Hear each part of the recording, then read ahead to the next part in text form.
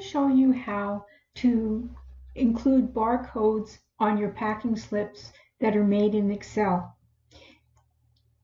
Everybody seems to want barcodes for everything. And I'll, I'll just show you something here. So I'm just going to type in a number and I'm just picking something out of my head. Five, five, four, three, two, one. Okay. And now what I'm going to do, this, this file, if you look, we'll click at the top, it simply equals the, the cell that's beside it. So it's just simply equals. And so now I'm just going to scroll this down. And automatically we have a barcode for this item here. Now, if you, with it selected, let's look up and let's look up to the font. It's, it's called Code 39 and it's installed.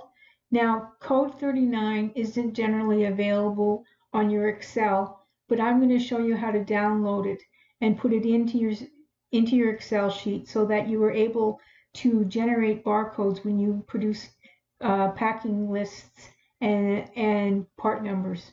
So what we're going to do is I'm going to include um, I'm going to include the URL for this uh, site on my description of my video. And so what we're going to do is we're going to go to this site here we're going to look for code 39 and then we are going to download it. And then you, you get a file like this and it's a zip file so you're going to drag it over to your um, to someplace in my documents and then you're going to unzip it.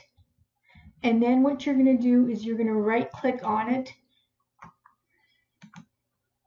and you're going to install now I have already got this installed, so I'm not going to install it again, but that's as simple as it is for uh, putting it on to be available in Excel. So now let's go back to our sheet here. And so let's choose another cell that we have um, on our sheet here just to show you that it works. And so uh, what I'm going to do is I'm going to type, um, I'm going to type in here code 39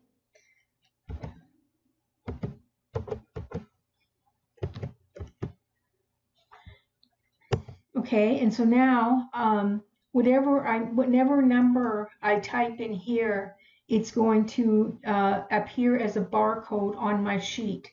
So I'm just going to type 88995. And there you have your barcode automatically generated. So all you have to do is download the code 39 font and install it in your system.